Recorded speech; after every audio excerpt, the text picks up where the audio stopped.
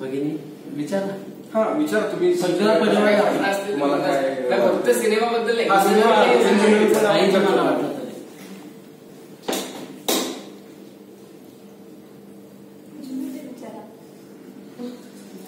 नाही, अगदी आपल्या फॅमिलीतल्या गप्पा हा.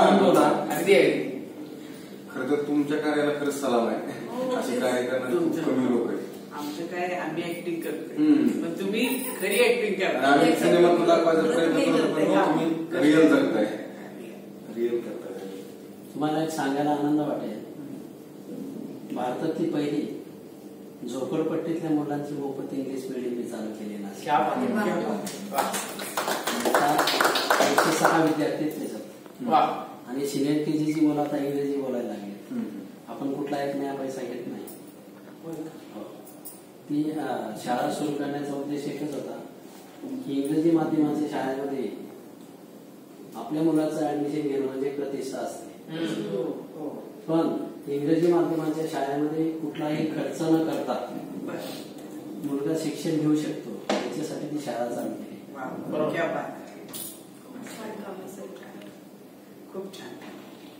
आणि हे सगळं आपण जेव्हा पुढे नेतो ना की वाटतं की अरे आपण समाजासाठी केलं पाहिजे. काय जसं मी त्या मुलींचं उदाहरण दिलं अठ्याहत्तर मुली. हम्म.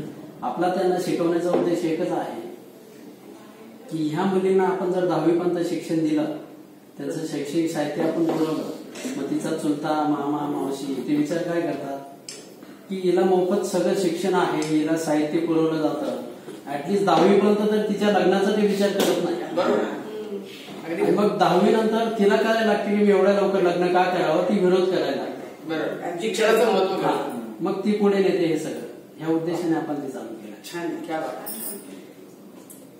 पण हे एकट्याने शक्य होत नसतं या सगळ्या भगिनी सोबत आहेत म्हणून.